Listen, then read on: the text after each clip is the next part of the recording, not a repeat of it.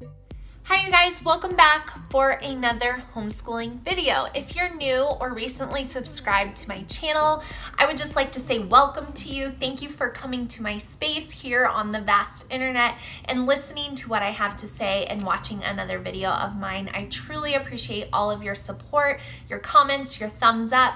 Um, you guys keep me excited to continue to make homeschooling videos for you. So today we're going to be talking about My Morning Basket, which is something that is probably a familiar homeschooling term. I believe Pam Barnhill was the mastermind behind the Morning Basket idea. And every homeschooling mom that I know probably uses the system in their own way. So I did a video on this last year when I was using Sonlight and showed you what was in my morning basket, but I have not done one this year since we started using primarily the good and the beautiful. And of course it has changed. So I am here to share that with you guys. I have my basket. It is so heavy. Here she is, chock full of stuff. So we are going to talk about what's in my morning basket. Now, if you're like, what the heck is in my morning basket?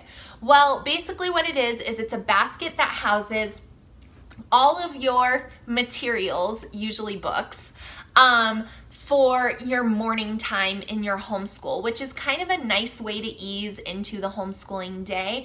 I really prefer to do this first before we go and we start working on individual math and writing and language arts. I really like to start with this.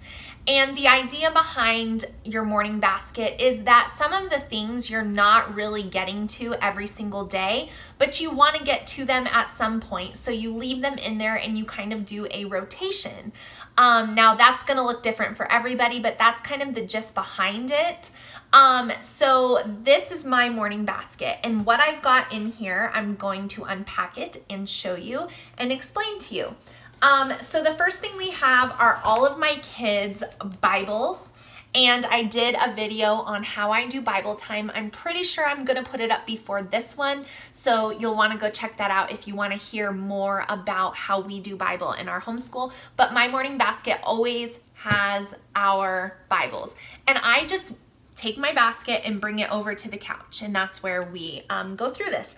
We do Bible time every single day um, in conjunction with a daily devotional that we're using this one right now. This will always change. So um, this is just one that we're using this year.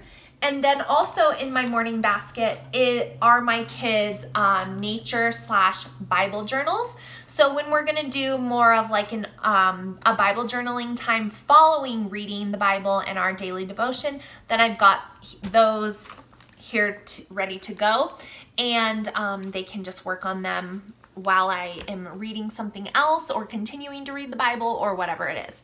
So all of those things are in my morning basket and we do them every day. Another thing that I keep in my morning basket is this old, old, old um, Bible story for boys and girls. It actually, which is so cool. I love vintage books like this. It has writing to someone from 1951. And here, you guys, this is not from my family. I actually bought this at the San Clemente used bookstore. Um, but it is the Bible story in story form. And so we're just slowly reading through it. My kids know pretty much all the big stories of the Bible, I would say pretty well. Um, but I just think it's really cool and so we're reading this slowly but surely. This is not something I read out of every day, but I do probably one to two times a week so it stays in my morning basket. Um, also, what I keep in my morning basket is our read aloud. Now, when we are doing a history unit for The Good and the Beautiful, the book will correlate with that history. But I recently shared in my quarter one update, if you want to check that out, that I am alternating history and science. So when we are doing a science unit, I, for our read aloud um, book, because I always want to be doing a read aloud, uh, The Good and the Beautiful has them for um, history, but when you're doing science, there's not really like, they have read aloud suggestions, but they're, they're more um, like factual books, not like a, um, you know what I'm saying, like a chapter book.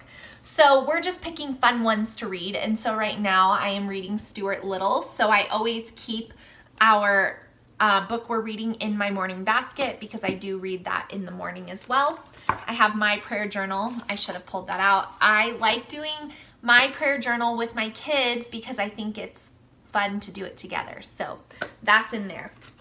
And then, like I said, for history, it would be a little bit different, but we are currently in the middle of our first science unit on kingdoms and classifications. So I always keep um, the bound science unit in there because anything that it has reading, um, I like to do it in the morning and then it kind of like um, gives them an idea of what we're going to be learning about that day. So I'll often read a little bit out of here. And then to go with science, um, this came with our microscope we bought for that unit is this Usborne, The World of the Microscope book. And so we are reading about, a, there's a lot of information on these pages. So we are reading about a page or two a day. So I'll have this science book in my morning basket. And then another one that goes with the science theme is this book called It Couldn't Just Happen. Um, and this is basically stating why all of the things in the earth couldn't have just randomly occurred. So it's a science book, but it's backed up with faith. And so I like that combination, obviously. And so I'm reading, um, just asking my kids, what do you want to read about? Human body? Okay and then we read about that. I am not going in order and reading this whole book. I'm just pulling out little bits of information um, for them. And so if we were in a history unit, I would have my history book. I would have the big book of history stories. I would have the read aloud that corresponds with history. And then I would probably have a few picture books from the library that also correspond with that history unit for my younger ones to look at. Um, and then I would have the rest be the exact So now my morning basket is empty. So that is what I keep in there for our morning basket time. Like I said, we don't do all these things every day, but we do rotate through them on a weekly basis. So I hope that gives you an idea of what is in my morning basket. And if you guys utilize a morning basket system, I would love to know about it. Let me know down in the comments below what yours looks like and what you keep inside it. And if you've never heard of this, then I hope that I've given you um, something to think about. I will try to link some helpful uh, videos down below on the My Morning Basket thing. And I will see you guys in my next video. Bye.